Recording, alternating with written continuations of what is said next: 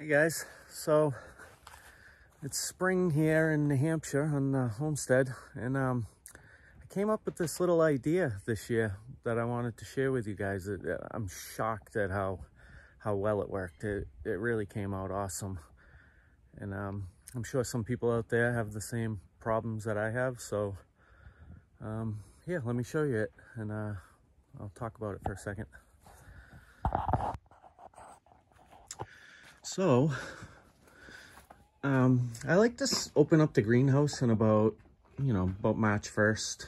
Um, the problem is, is it still gets kind of cold at night. It gets up nice and warm here around, you know, 70, 80, 90 degrees in the greenhouse during the day on a nice sunny day.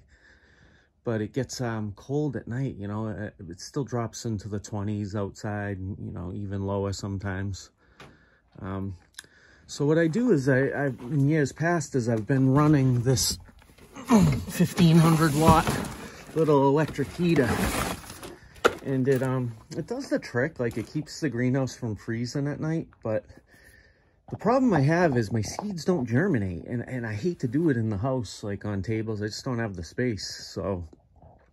Every year I have a problem with seeds germinating. Yeah they get nice and warm during the day but they uh they it gets down you know to like 40 degrees on the the soil and the trays at night and they just slows down the germination. I mean in years past it's taken me three to four weeks sometimes for peppers to germinate.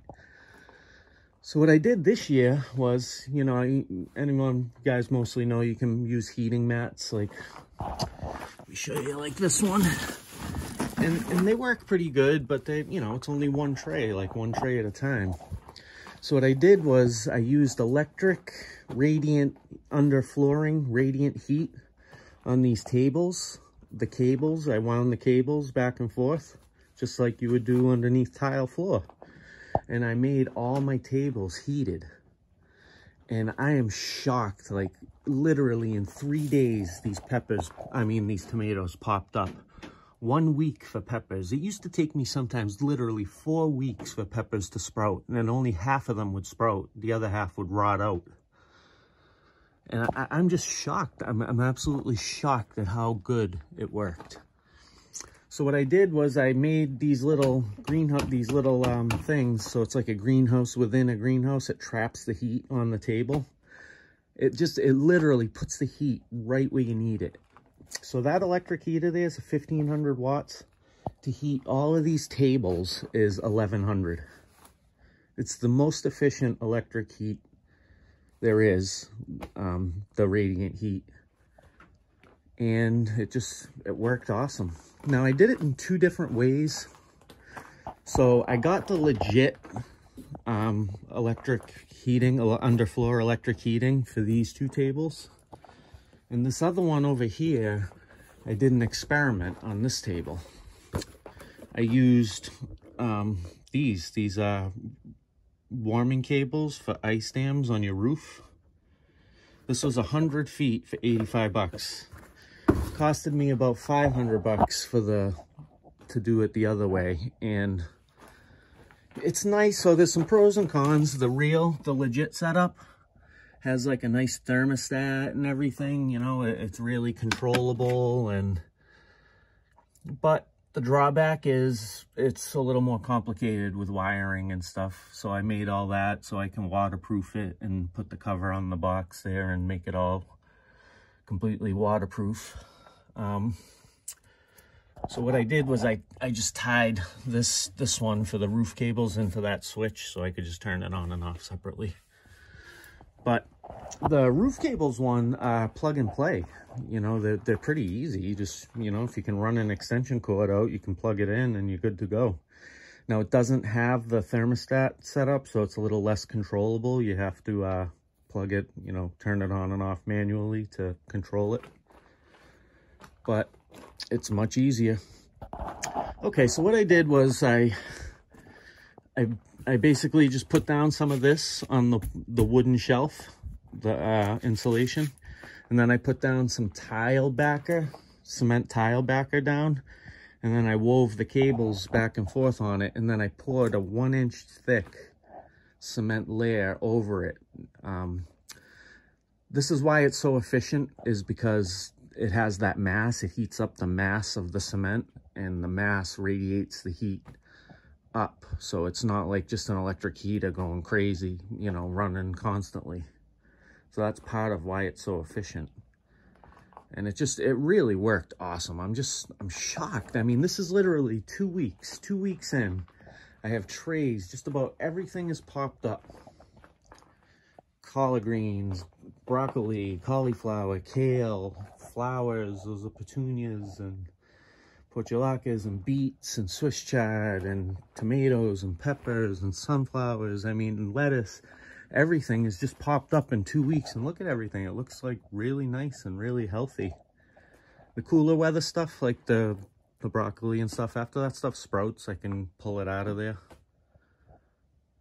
And um you know just keep it in the greenhouse. So these things also warm up the whole greenhouse much better than that little heater ever did it was just it was a really great idea so you know there's a couple ways you could do it too um you could do it the way I did it with the cement and the, you know, either the roofing cables or the, um, the electric, um, the electric under radiant, underfloor radiant heat cables.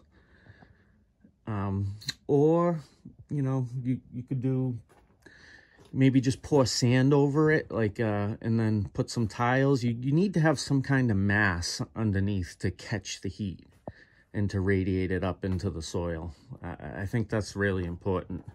But yeah, you could just weave it down and say, you know, say you don't want to mix concrete or anything. You could just weave those cables back and forth like that, about three inches apart, and then pour some sand over it until the cables are buried. And then maybe just take like a box of ceramic tiles and put them down just on top of it. Not even, I mean, just setting them there, you know, just as some mass to catch, to catch the heat. Um, you know, it, worst case too, you could even use like an electric blanket. I mean, just fold it up, you know, fold it in half, lay it down on the table, and then maybe just pour some sand over that or, or you know, even just put the tiles directly on that. Um, but, it, you know, it's it puts the heat right where you need it. It doesn't waste anything, and it just worked so, so well. I can't believe that I never really thought of this sooner, and went so many years without it. It, it was a, it's a total win. I mean, I, I really couldn't ask for better, better results. So I didn't video myself doing it. I, I, just wanted to share this with you guys and show you. I mean, if you look outside, it's still, we're still covered in snow and, you know, it's still been getting down into like 25 at night. And especially a couple of weeks ago when I started all this, I mean, we were buried in snow. We had a snowstorm, two feet of snow or a foot of snow or something. Um, it's been pretty warm this last week, but yeah. Um, so if anyone wants me to elaborate a little bit, since I didn't video myself doing it on the steps on that I took to do it, I can give like an example and, and show a couple of different ways, you know, that you might be able to get away with it if you don't necessarily, you know, want to get into like doing the wiring and stuff like that. Like I mentioned, the the roof cables or the, you know, an electric heating blanket, something like that. But I can um, just kind of give you a small example of, of exactly how I did it, with the steps were. It's, it's really pretty simple concept, but it just, it works awesome, awesome.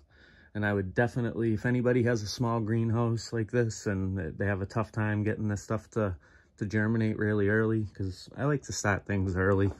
March 1st is usually when I try to open the greenhouse up. But like I said, the month of March, it's just tough to get anything to sprout because it gets so cold at night. Um, but yeah, anyways, I, I, I, hope this helps. I hope it's, uh, you know, if, if anybody has the same problems I have, this is a great solution. And like I said, leave a comment if you'd like me to make a short video, um, giving a deeper explanation of, of what I did and how I did it. And I'd be happy to do that if there's any interest. Okay, hope this helps, guys. I'm excited for spring. I'm sure everybody else is too.